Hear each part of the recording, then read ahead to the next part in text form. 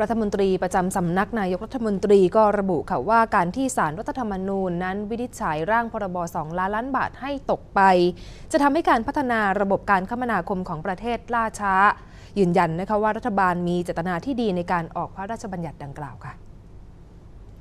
นายวราเทพรัตนากรรัฐมนตรีประจำสำนักนายกรัฐมนตรีและรัฐมนตรีช่วยว่าการกระทรวงเกษตรและสหกรณ์กล่าวถึงผลคำวินิจฉัยของศาลรัฐธรรมนูญ ที่ชี้ให้ร่างพระราชบัญญัติ กู้เงิน 2 ล้านล้านบาท เพื่อการพัฒนาระบบโครงข่ายด้านการคมนาคม ขัดต่อรัฐธรรมนูญ โดยระบุว่ารัฐบาลยังไม่ได้รับรายละเอียดของคำวินิจฉัยอย่างเป็นทางการ ซึ่งเมื่อมีคำวินิจฉัยออกมา การดำเนินโครงการต่างๆ ที่เกี่ยวข้องกับระบบการคมนาคมก็ต้องหยุดชะงัก ทั้งนี้ร่างพระราชบัญญัติดังกล่าวมีการดำเนินการตามขั้นตอนในสภาทุกกระบวนการ และผ่านความเห็นชอบเป็นที่เรียบร้อย จึงต้องแยกกันระหว่างคำวินิจฉัยของศาลรัฐธรรมนูญ กับกระบวนการทางรัฐสภา การเสนอร่างพระราชบัญญัติไม่ว่ารัฐบาลใด ๆ ก็ตามเนี่ยจะต้องรับผิดชอบต่อรัฐสภานะครับ ถ้าหากว่ารัฐสภาไม่ผ่านร่างกฎหมาย โดยเฉพาะกฎหมายทางการเงินนี่ ก็ต้องเป็นความรับผิดชอบอย่างแน่นอนว่ารัฐบาลหรือผู้เสนอเนี่ยนะครับ ถ้าหากไม่ผ่านความเห็นชอบของรัฐสภา หรือสภาผู้แทนราษฎรตรงนั้นคือความรับผิดชอบต้องแยกกันนะครับเมื่อผ่านความรับผิดชอบของรัฐสภาแล้วเนี่ยก็ต้องถือว่าพรบฉบับนั้นได้ผ่านความเห็นชอบในระบบรัฐสภา มีกระบวนการที่ตรวจสอบแล้วนะครับ ส่วนเมื่อไปถึงศารรัฐธรรมนูญท่านจะเห็นเป็นประการ ที่แตกต่าง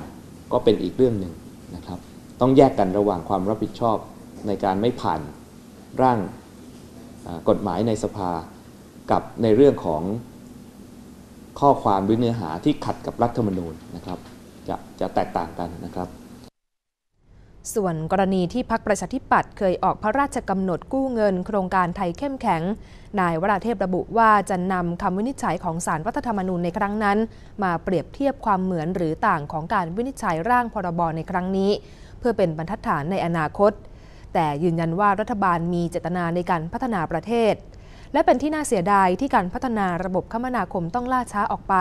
ทำให้ศักยภาพของประเทศไทยมีผลกระทบ รรคประชาธิปัตย์ที่ออกพระราชกำหนด หรือพลกไทยเข้มแข็งนะครับ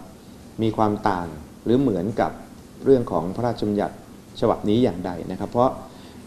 ในครั้งนั้นก็มีการไปยื่นสารรัฐธรรมนูญ แล้วก็มีคำวินิจฉัยว่าสามารถดำเนินการได้นะครับ ทั้งนี้ก็จะได้เป็นบรรทัดฐานในการที่จะดำเนินการเกี่ยวกับการให้อำนาจกระทรวงการคลังกู้เงิน เพื่อมาดำเนินการต่างๆ ต้องเรียนยืนยันว่า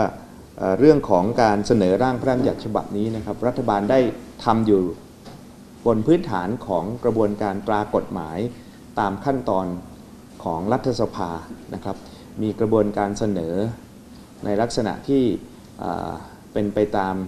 ร่างพระราชบัญญัติทุกขั้นตอนก็คือตั้งแต่วาระที่ 1 รับหลักการ และก็วาระที่ 2 มีคณะกรรมการขึ้นมาพิจารณา